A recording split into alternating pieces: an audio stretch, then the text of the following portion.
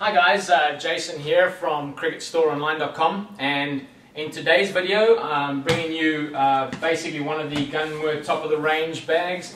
It's the GM Original Limited Edition Duplex Wheelie. Um, the basic concept with this bag is that they've separated all the different, all your different cricketing goods, helmet, gloves, shoes, bat, pads, everything and given it all its own little compartment if that's the kind of thing that you like to do, keep everything nice and organized. So just to give you a rundown of some basic features of this bag.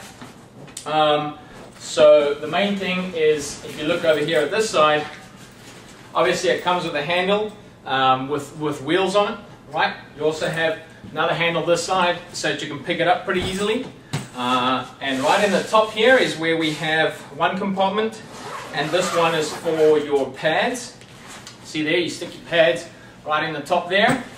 So that's for your pads. Uh, then, to be honest, I had to sort of squeeze my pads to get them in here. It might stretch out, I guess, as the bag gets older, um, but I really had to squeeze them in there. It's, it's a real tight fit. Um, then opening up this next zipper uh, shows you basically the compartments. I've got hats and helmets, stuff like that in here, shoes and thigh pads over here. Once again, this Aero thigh pad, I kind of really had to squash it to get it in there. Um, you can also move these compartment dividers, take them out, make one bigger compartment, whatever the case is. It's just in there with Velcro. And then I've got gloves, keeper gloves, stuff like that. Um, but with these compartments, no space now for keeper pads uh, or a second set of pads or anything like that. Okay. So closing that back up here, just to show you a little bit more about the bag. Uh, Alright, so once that's closed, I do have some extra uh, protection over here, so I can also stand this bag up like this if it's in storage uh, or traveling or whatever the case, that's not a problem. Um, and then down the bottom, I have another zipper here. You find where it is, uh, right over there. And this is going to give me top access to the bat cave, right? I've got a couple bats in there um, in this styrofoam container here. Um, and what I'll do is I'll close this up for you real quick. So that gives you access if you want to look at your two pretty bats on the top.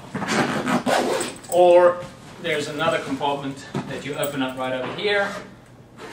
And you open that up, pull those out, and pull your pull your bats out of it. So that's that's one. It's got space for two bats, as you can see there. So that is the basics. It's got runners down the bottom there to stop it from getting uh, messed up. Like I said, it's got the extra protection right there. Let me just close that up. And this is obviously the top of the range Gunner bag. Remember the 2010 bag? It's got the gold on it. The 2011, it's got the silver and the white. So make sure when you're ordering, I've seen on, on other sites, they still have the pictures of the gold uh, bags, which are the 2010 ones, and they're selling it for the same price as the 2011. So just be careful of that. Uh, for the best gear, um, the best service and quality, go to cricketstoreonline.com. Thanks guys.